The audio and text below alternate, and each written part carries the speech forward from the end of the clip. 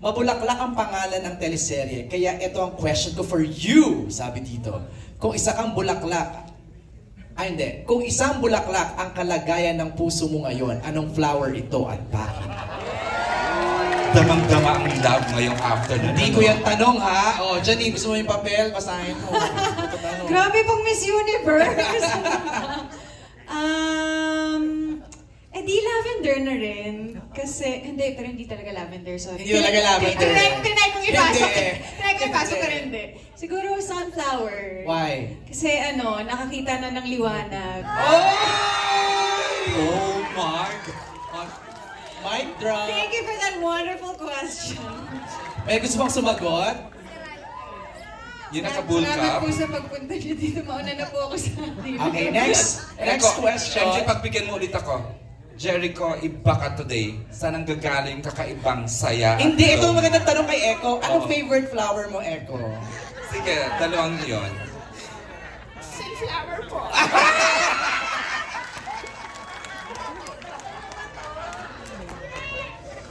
Kasi po gusto ko siya sininiran. Saan ang gagaling kakaibang saya? Sobra ka nag-share ng sobra na we never saw you this before. Pero ngayon, ang saya-saya ng ano mo, Echo. Sorry, may press con pala. ano po yan? Saan ang gagaling kakaibang saya mo ngayong araw? Ngayon, of late, from, from the junket, Ako ba, Eric? hindi, ah, siya, siya, siya. Yung cameraman. Miss, Miss Kylie nakatingin sa akin. I'm just really very happy. On on the professional side, I'm so happy to be with with these guys, like right now. My team is here, they're so happy oh, for me, and I love them. But on the personal side, all of these people that I work with love her. Oh, oh my God, ulit! So it just feels light, you know what I mean? Everything just feels light, if you know what I mean. Yes. So you know we're professionals on set. We can joke about it off screen, but when we step there, so it's just like it, there's a really good balance. And then pag tumama yung araw sa siya. Echo, just stay happy. We're so happy for you, I swear. Okay, MJ, it's uh, tuloy mo na. Eto, kay, kay Jody Santa Maria pa rin, mula kay JF Certified ka pa rin. Hours! Alam namin hindi ka tumatanggap ng role ng parang yung same, di ba? Same, same ng inuulit. Talagang bago ka tumanggap, talagang tinikita mong bago to. Yan, parang bago talaga na nakita namin Jody dito. Action, di ba? Parang tinalo mo si Tomb Raider dito. And yung mga fight scenes mo, di ba? Hindi, tanong namin, um, How was it? Kumbaga, how was it? Paano ka nag-prepare dun sa character mo? And paano ka nag-training? And ano yung mga na-encounter mo during the times na, na nasaktan ka ba? Ano yung mga challenges you encounter during the shoot? Um, when it was first offered to me, I think yung isang isa sa mga bagay na nag- nagpa-yes sa akin sa project is it's it's new. It's something that I haven't done before. And ako kasi parang I always welcome challenges and parang I feel na parang when I begin to doubt myself whether if I could do or I, I could do it or not, parang the more na nanggigigil ako na hindi, kailangan ko siyang gawin. So, yun yung una. And then the next is, how do I prepare? So, um, we did a lot of um, training. We did a lot of strength and conditioning because we don't want anyone to get injured naman on set. Um, isa lang yun dun sa maraming component na kailangan mong gawing preparation for, for the role. Kasi may physical aspect ka, there's also the emotional aspect, your relational aspect to your co-actors, di ba, sa roles nila. And a lot of psychological aspect also. So you have to do a lot of parang digging. Anong, anong nangyari? Kung may mga missing na parang bagay, trabaho mo as an actor na i-fill in yung blanks or fill in the gaps, hindi ba? And a lot of talking and meeting and collaboration with everyone from our uh, creative team to our directors even to um, my co-actors na we we discuss our scenes uh, paano natin gusto to gawin. So mahaba siyang proseso. So part yon ng ng preparation before mo gawin yung let's say yung scene. Kung meron mga nasaktan ay oo. Agad. Ah, ito na yata yung ano, parang nagkapasa-pasa na ako dito left and right. Parang every time na uuwi ako sa bahay, parang may bago akong baon. Bago, baong pasapi. Ganon. Pero it's all part of the job. So, and I'm just really thankful na I got to do this with these wonderful people. I'm just grateful. My heart is full.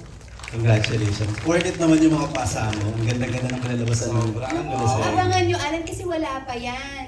Kasi pagdating ng second week, third week, grabe, umaatik-abong action na talaga. Hindi pwedeng lumipas ang isang linggo na walang mangyayaring, ah, ano, hindi, ba- hindi balian. Um, ano, parang action scenes, ganyan. Ikaw ba yung nagpapa-double or talagang ikaw yung gumagawa talaga ng mga scenes? As much as possible, ako talaga.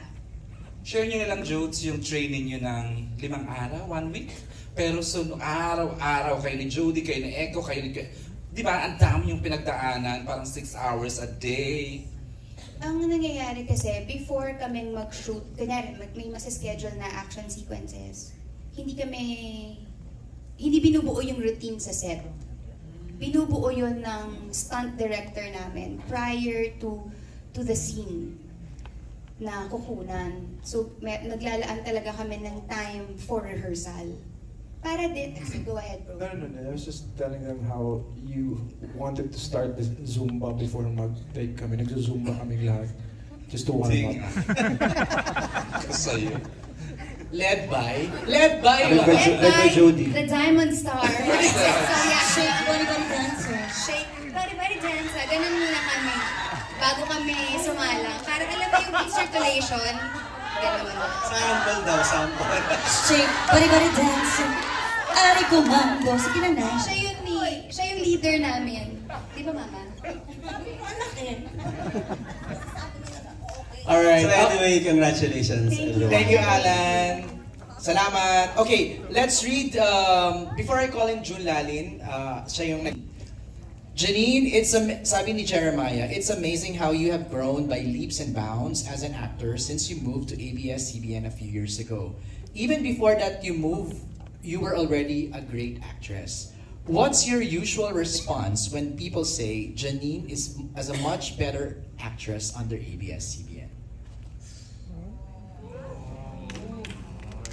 Well, syempre, I'm so grateful talaga for all the projects I've done here. As in, grabe talaga yung level of um, commitment and creativity and collaboration natin dito sa Dreamscape and especially sa ABS-CBN. And I owe so much to like the three years pa lang ako dito, nakapamilya. At grabe yung mga nakakatrabaho ko, yung mga karakter na nagampanan ko. And sobra yung pagpapasalamat ko.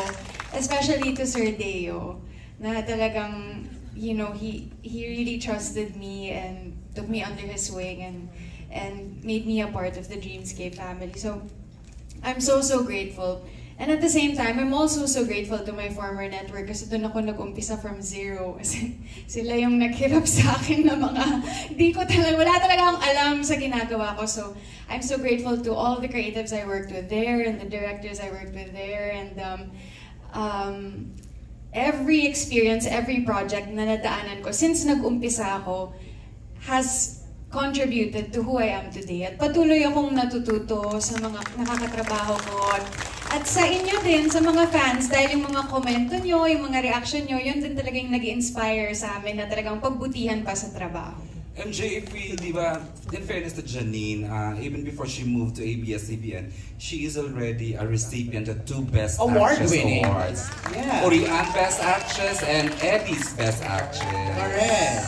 Saka siyang ano, mata-mata acting uh, Oo, the, the phenomenal Dirty Oo, Linen. dirty linen, di ba? Alright, uh, June, your Ayan turn. na, si June.